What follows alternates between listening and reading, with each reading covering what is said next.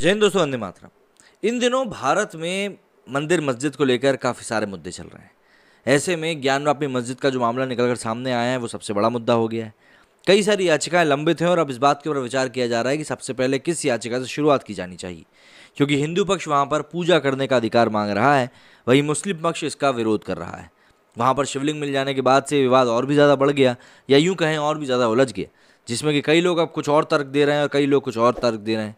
इन तर्कों के बीच में कई लोग हैं जो कि अपनी राजनीतिक रोटियाँ सेकने में भी बाज नहीं आ रहे ऐसे हम आज बात करने वाले हैं असदुद्दीन ओवैसी के बारे में, जो कि अक्सर इस प्रकार की राजनीति में आपको कूदे हुए ज़रूर मिलेंगे।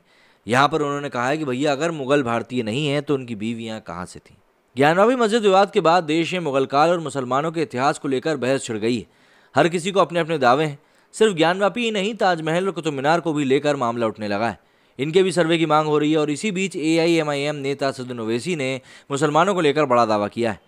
ओवैसी ने अपनी फेसबुक पोस्ट में इतिहास और मुगल काल को लेकर बड़ा दावा किया है। उन्होंने लिखा है कि भारत के मुसलमानों का मुगल से कोई रिश्ता ही नहीं है। लेकिन ये बताओ कि मुगल बादशाहों की बीवियाँ आखिर कौन थी? उनके इस पोस्ट के बाद नया विवाद खड़ा हो गया है। इससे पहले ओवैसी ने असम के मुख्यमंत्री शर्मा के मदरसे को लेकर दिए गए बयान पर भी आपत्ति जताई थी।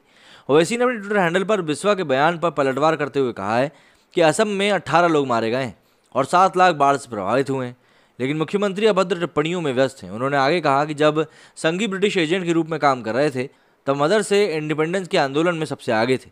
इस्लाम के अलावा कई मदरसे विज्ञान, गणित और सामाजिक अध्ययन भी पढ़ाते हैं। आरएसएस पर हमला करते हुए ओवैसी ने कहा कि शाखाओं से अलग मदरसे स्वाभिमान और सहानुभूति सिखाते हैं। लेकिन ये बात अनपढ़ संगीन नहीं समझेंगे। उन्होंने सवाल किया कि हिंदू समाज सुधारक राजा राम मोहन रॉय मदरसे में आखिर क्यों पढ़ते थे? मुस्लिम वंश पर ध्यान देना आपकी हीन भावना को दर्शाता है।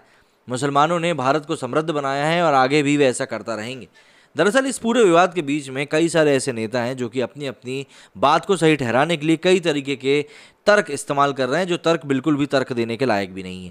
भाई, पब्लिक को ये समझना चाहिए कि जिस तरह की बातें ये लोग कर रहे हैं, इस तरह की बातें कभी भी किसी को भी मतलब आप कन्विंस नहीं करा सकते इन बातों के थ्रू किसी को भी। इन बातों को करके आप सिर्फ़ ध्यान भटका सकते हैं थोड़ी सी तालियाँ बटोर सकते हैं, लेकिन कोर सॉल्यूशन आप कभी भी नहीं दिलवा सकते। लेकिन क्या होता है, ये पब्लिक भी आज की डेट में सोशल मीडिया के दौर में इतनी ज़्यादा इन्फॉर्मेशन से घिरी हुई है कि उसको भी जो चीज़ फ़ीड करा दी जाती है, वो उसी चीज़ को मान लेते हैं। ऐसे में कई बार ये समझ में नहीं आता कि कौन सी इन्फॉर्मेशन सही है और कौन सी गलत है, और तभी कई सारी चीज़ों को गलत तरीके से इंटरप्रेट भी कर लिया जाता है। लेकिन यहाँ पर समझना ये होगा कि जो नेता हैं, वो हमेशा सिर्फ़ अपने चुनावी फ़ायदे को देखते हुए ही बयानबाजी करते हैं। इसीलिए आपने देखा होगा कि कई बार पर्दे के पीछे पक्ष और विपक्ष के नेता साथ में बैठकर चाय की चुस्कियाँ लेते रहते हैं, जो कि जनता के सामने इस तरीके से लड़ते हैं जैसे मान लो चूहे बिल्ली का खेल चल रहा हो।